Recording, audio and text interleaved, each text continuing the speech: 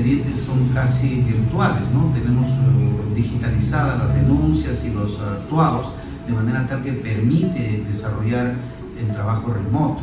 Y así lo hicimos durante todo el año, incluso nuestra producción mejoró al extremo que alcanzamos el segundo lugar a nivel nacional o tercer lugar después de Loma y después de la Corte Superior de Justicia de Lima, alcanzamos, el, eh, diríamos, el tercer lugar en la producción de sanciones a nivel eh, nacional.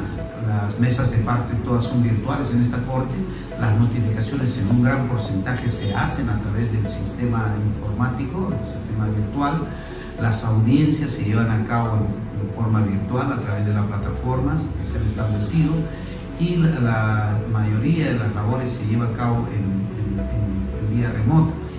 Lo tanto, nos estamos acostumbrando con esta etapa de pandemia a manejar los sistemas informáticos para brindar un mayor servicio, mejorar nuestro servicio sin la necesidad del contacto físico y sin que las personas, los usuarios, acerquen a los locales judiciales mm, con la consiguiente posibilidad de contaminación.